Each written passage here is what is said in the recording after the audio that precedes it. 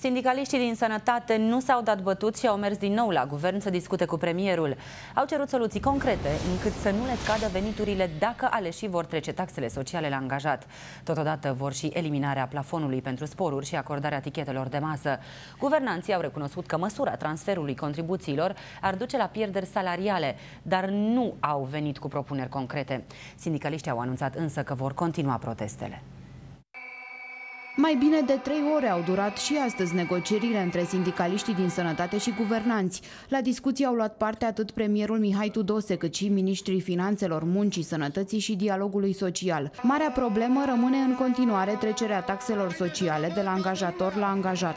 Dacă rămânem la, acel, la acea trecere de la angajator la angajat, să găsim soluții pentru banii care rămân uh, pentru sănătate. Așa că vrem, trebuie să ne încadrăm în 2,9 miliarde alea, dacă suntem de acord cu acest lucru și aici am opresc pentru că nu avem nimic concret și încă n-am găsit soluție. Potrivit sindicaliștilor aleși au înțeles că dacă vor merge mai departe cu propunerea transferului contribuțiilor la angajat, vor fi multe categorii sociale care vor avea pierderi salariale, însă nu au venit și cu soluții concrete. Dacă mâine se va stabili a nu se mai face transferul contribuțiilor de la angajator la angajat, atunci legea salarizării cade. Cei din sănătate au cerut și eliminarea plafonului pentru sporuri, acordarea tichetelor de masă și aplicarea creșterilor salariale pentru întreg personalul din sistem de la 1 martie 2018. Medicul uh, care nu face gardă, cel cu 35 de ore, nu poate să aibă același salariu cu medicul care face până la 48 de ore de gardă pe uh, săptămână. Acest lucru l-au uh, acceptat, evident, ca fiind imposibil de pus în practică și, și reprezentanții guvernului. S-a propus un alt model de calcul în privința sporilor, astfel încât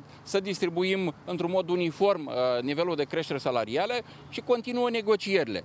Repet, abia acum a ajuns la nivelul de negociere propriu-zis. Până vor fi rezolvate toate problemele, sindicaliștii vor continua protestele. Membrii Sanitas vor picheta și Ministerul de Finanțe, iar pentru data de 19 octombrie au anunțat un meeting de amploare în capitală. Nemulțumiți de noua lege a salarizării, angajații serviciilor de ambulanță din toată țara au pornit și ei un protest pe perioadă nedeterminată. Toate ambulanțele operative au de astăzi afișe cu inscripția Protest Național, iar personalul poartă panglici albe pe echipamentele de lucru. Activitatea însă nu este întreruptă de această acțiune de protest. Mâine va fi ziua decisivă. Premierul Mihai Tudose va discuta cu toate confederațiile sindicale și ar trebui să anunțe măsura concretă care să mulțumească pe toată lumea. Dacă tot nu vor fi ascultați, sindicaliștii sunt dispuși să declanșeze greva generală.